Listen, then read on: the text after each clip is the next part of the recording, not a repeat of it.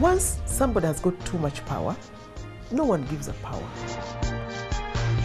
Honorable Matembe, the act of lifting term limits was an act of meticulous constitutionalism. What is that? It's not tangible. This is a gentleman, let me give you some info, who Is left he a here. gentleman? There will be attempts to put him uh, in the justice process and tried, especially that the War Crimes Division of the High Court now has no single case.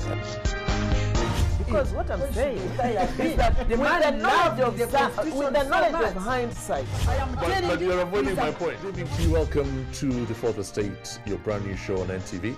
My name is Allan Kasujja, and I'll be your host on this show.